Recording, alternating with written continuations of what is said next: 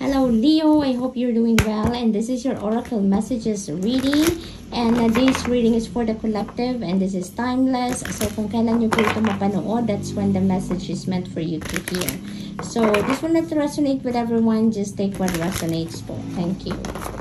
And uh, Aries, maraming salamat po sa inyong mga comments. Maraming salamat po sa inyong pagsuporta sa aking channel.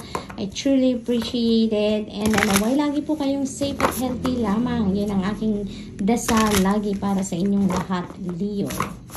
So, tingnan natin kung ano yung unang message for you. So, we have happiness. Wow, napakaganda, Leo. Ibig sabihin, mababalot kayo ng kadigayahan. Ah... Uh, during this time and puro lang masaya, no? So whatever your situation is right now, uh, magiging masaya ka. There will be twists and turns ngayon and that is just going to be happy magiging masaya ka lang. Kung meron kang mga mga problema, maaaring uh, makareceive ka na or ma magkaroon ka na ng idea para masolusyonan yan. So, maaaring meron ng mga resolution dyan sa iyong mga pinagdadaanan, no? Uh, your situation is going to definitely improve. That's uh, why magiging masaya ka na. And uh, we have protection. I'm really feeling here na yung mensahe ng, ng message ng card na ito for you is you are divinely protected, no? You are divinely protected and guided and guarded dito. So you are very, very lucky. I'm getting the image of Archangel Michael surrounding you dito, Leo. So, uh, wag kang magalala, no? Wag kang magalala dahil kung, kung meron ka mang pinagdadaanan ngayon na dark circumstances, definitely uh, merong uh, tulong na parating sa iyo. A breakthrough is coming in, you know, para uh, mabigyang kasagutan, mabigyang lunas ang iyong mga pinagdadaanan ngayon. And uh, because you are divinely protected. You are divinely guided dito. Hindi ka pa pinapabayaan ng spirit team. And we have patience. So, uh, Leo, you are being asked here to practice more patience, no? Uh, practice more patience kasi yung mga bagay na yung hinihintay or yung mga bagay na gusto mo mangyari sa buhay mo, uh, alalahanin mo lang na they are not going to happen in your own timing, but instead uh, in divine's in divine order and timing. Lahat ng man ng bagay, no? Hindi nangyayari sa, sa panahon na gusto natin, sa form na gusto natin, sa, sa lugar na gusto natin. But, nangyayari yon in divine order and timing. So, pasensya muna, no? Because if that thing na gusto mong mangyari sa buhay mo is meant for you, that is going to happen. That is coming towards you. So, konting pasensya muna dito matuto tayong maghintay. Sabi nga, patience is a virtue, di ba? So, tignan natin kung ano pa ang mensahe para kay Leo. So, uh, meron, meron din ako na na-receive dito na mensahe na uh, the longer you wait daw, sabi Leo, ibig sabihin nun na merong mas malaking bagay, merong mas malaking pasabog na hinahanda para sa iyo ang divine universe.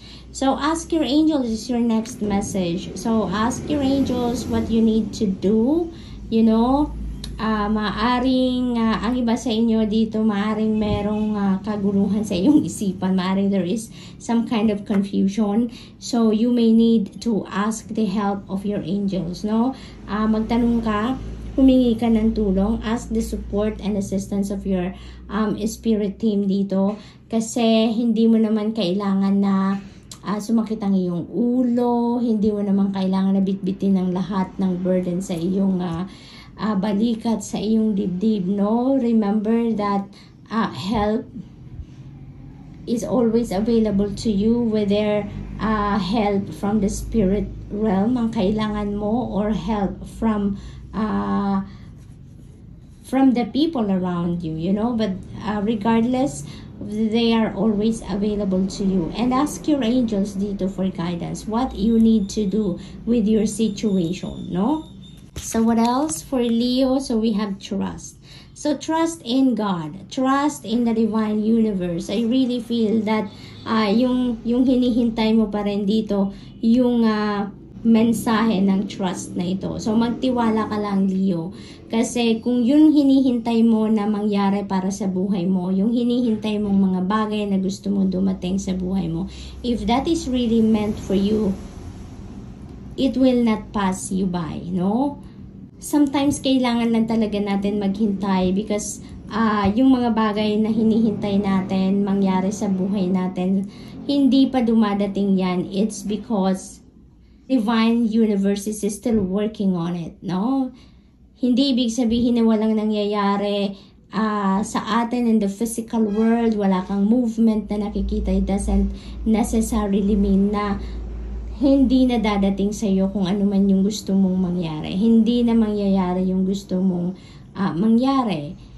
Hindi naman ganon. It's just that sometimes, you know, it's not the right timing yet. Maybe because hindi ka pa 100% ready para doon or maybe the people around you are na involved doon sa, sa sa gusto mong mangyari are not ready yet, no? So, maaring God or the divine universe is still lining up the events, the people, the situation uh, para maging perfect ang pagdating ng iyong hinihintay, ang pag-deliver sa iyo ng gusto mong mangyari para sa buhay mo, 'di ba? So just trust, keep your faith, keep your hope and trust the divine universe because uh, naririnig ni God, naririnig ng Divine Universe ang iyong mga dasal. So, wag kang mawawala ng pag-asa. Don't despair, no? Magtiwala ka lang because your prayers are being answered already. So, what else for Leo? We have remain positive. Ayan. So, ayan, Leo. Remain positive.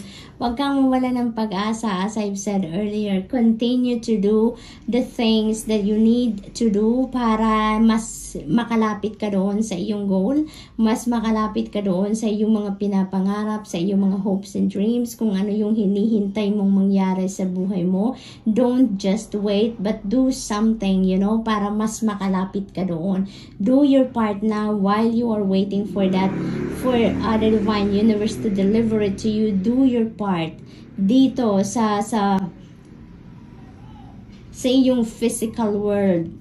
Do the things na uh, mas makakalapit sa iyo doon sa pagtupad ng iyong mga uh, gustong mangyari para sa buhay mo. Remain positive. Huwag kang mawala ng pag-asa dito. So, Leah, that's all I have for you for today. I hope nakatulong ang reading nito in some way. Thank you for watching Love and Light. Namaste.